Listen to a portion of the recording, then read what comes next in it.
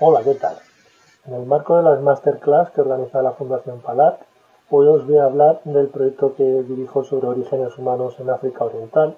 y más concretamente sobre las excavaciones que estamos realizando en la garganta Olduvai, en el norte de Tanzania. En primer lugar, voy a presentar los antecedentes a nuestra investigación. Después voy a esbozar las líneas básicas que articulan nuestro proyecto de, investigación y después os voy a comentar algunos de los resultados más relevantes que hemos obtenido en los últimos años de trabajo. Uruguay se encuentra en el norte de Tanzania, está rodeado por eh, varios volcanes, como por ejemplo el, volcán Lengai, que tenemos en pantalla. Hay también eh, varios lagos cerca, por ejemplo el lago Manjara, que es un buen análogo para eh, pensar cómo pudo ser Olduvai hace dos millones de años. Y Olduvai es una garganta que está erosionando la llanura del, Serengeti. Eh, hay otros eh, paisajes como el de la, de caldera de Gorongoro que también nos permiten evocar estos paisajes abiertos en los que desde luego la llanura del Serengeti que ya he mencionado es pues el ejemplo principal con todas las grandes manadas de animales que allí viven en la actualidad y que también vivieron en el pasado. Olduvai eh, se dio a conocer eh, gracias a los trabajos de la familia Leakey. En primer lugar, eh, Luis Leakey fue uno de los primeros investigadores en reconocer la importancia que tenía Olduvai para la evolución humana y después y sobre todo gracias a los trabajos arqueológicos que desarrolló su mujer Mary Leakey a partir especialmente de los años 60. Gracias a sus trabajos y a los de otros investigadores después, sabemos que, aunque Dubái es en la actualidad un lugar bastante seco, hace dos millones de años, entre dos y un millón de años, había un gran lago allí y alrededor de ese lago vivieron eh, multitud de especies animales con grandes manadas de mamíferos como elefantes que veis en pantalla, como hienas y por supuesto eh, también había muchos homínidos, muchos seres humanos eh, antecesores eh, de, nuestra especie. En fin, la riqueza del registro paleoantropológico del Dubái sumado a la intensidad de las investigaciones que se han desarrollado en la garganta. Pensad que desde 1931 Luis Vicky comenzó a trabajar allí, pues ha habido investigación prácticamente de, de forma ininterrumpida. Esto ha dado lugar a la publicación de resultados muy importantes en nuestro campo, haciendo de la garganta de Uruguay uno de los yacimientos más emblemáticos para el estudio de la evolución humana en todo el planeta. Paso ahora a presentaros algunas de las líneas principales que articulan el proyecto de investigación que estamos desarrollando en la garganta de Uruguay. Por supuesto, esto es una empresa eh, colectiva que incluye a investigadores de muchísimas instituciones en varios países y que tratan de investigar el registro del Dubai desde una multitud de perspectivas eh, científicas.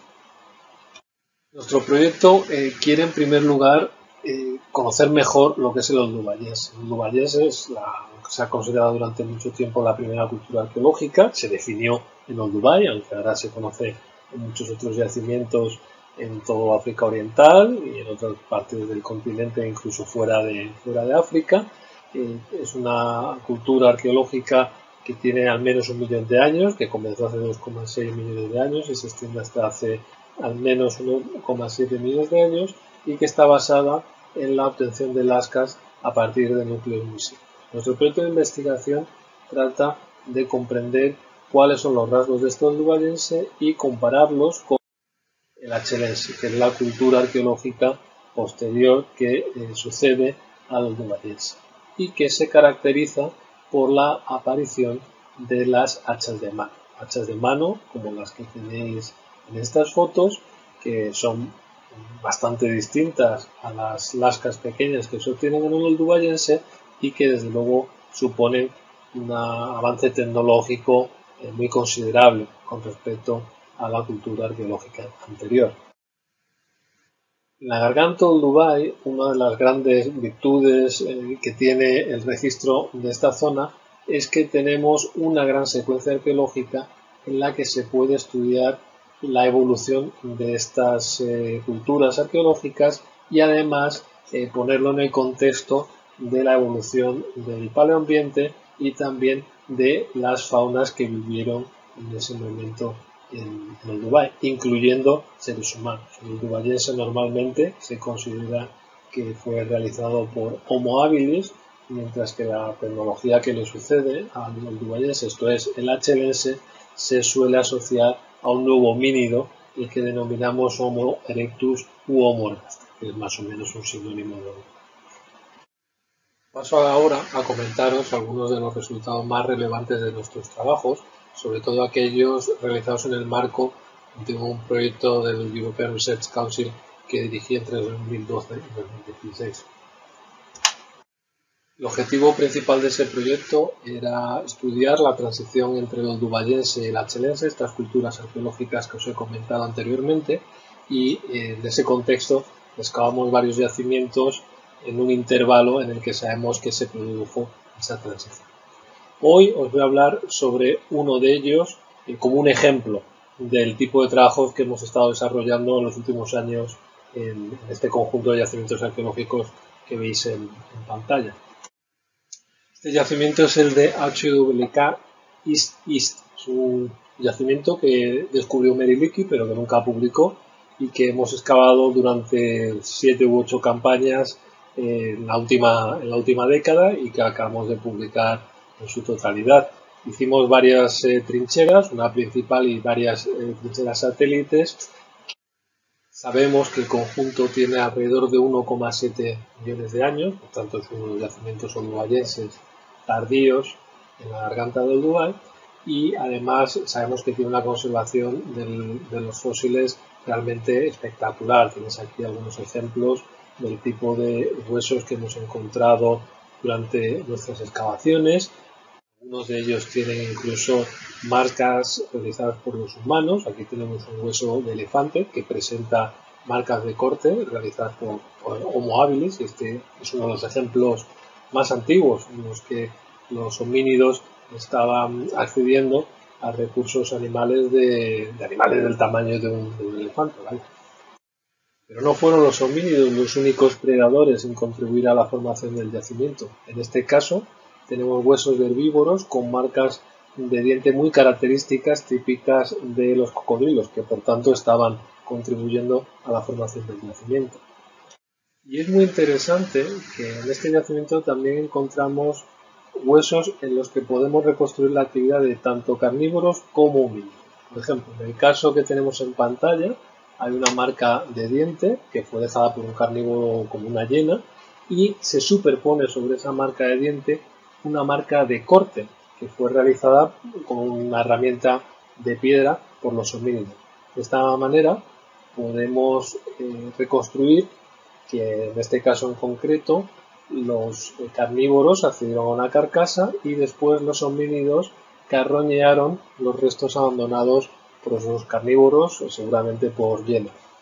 Aunque bueno, parece ser que en este yacimiento también los homínidos se tomarían la revancha, porque tenemos en este caso una, una escápula de hiena con marcas de Es decir, con esto lo que quiero ilustrar es la intensa competición que existía entre los homínidos y otros carnívoros como las hienas por acceder a recursos cárnicos, seguramente ambos carroñeando las presas dejadas por grandes felinos como los leones o los dientes Por supuesto, el yacimiento también tiene eh, herramientas líticas, como ya os he adelantado, son dubayense, tiene una colección verdaderamente excepcional de, instrumentos de piedra, con más de 18.000 artefactos, eh, que responden a las técnicas simples típicas del oldubayense y que hemos reconstruido a través de eh, arqueología experimental para entender un poco mejor cuáles eran los métodos de talla que estaban realizando.